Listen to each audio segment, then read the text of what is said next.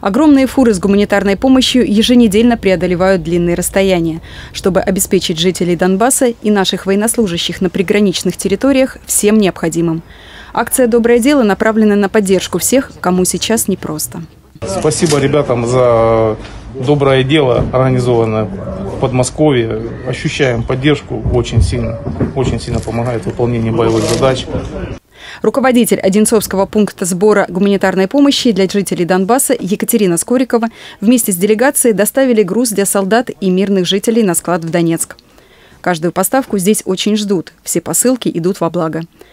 Также в регионе наблюдаются большие перебои с питьевой водой, поэтому, несмотря на холод, люди выстраиваются в длинную очередь, чтобы получить ее. Жителям Одинцовского округа, что нас не забывайте, от отдельно гвардейско-штурмового полка морской пехоты 2 мотострелкового батальона. Большая благодарность. Все будет применено по назначению.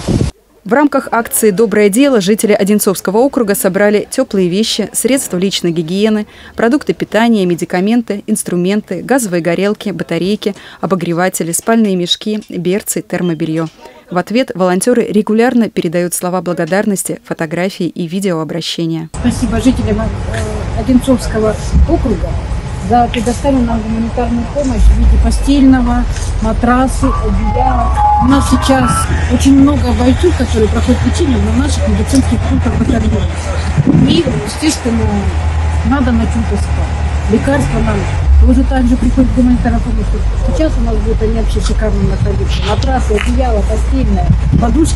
Сейчас я думаю, мы их, ребят, вылечим и поставим Современная война не стоит на месте, требует все новых-новых вызовов, которые мы успешно принимаем.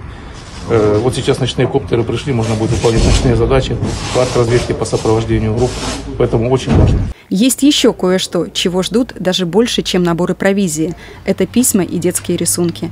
Их солдаты носят в нагрудном кармане из раза в раз перечитывая теплые строки. Ощущение, что их помнят, любят и ждут, помогает терпеть временное неудобство и справляться с поставленными задачами.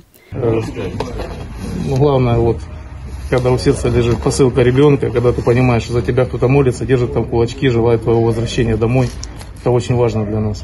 Елена Краева, телекомпания «Одинцова».